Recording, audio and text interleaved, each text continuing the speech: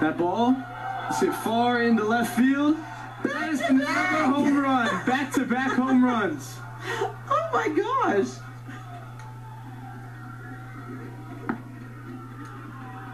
That is also his first home run of the year.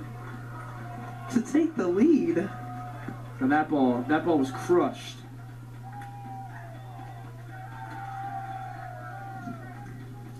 Definitely happy for him.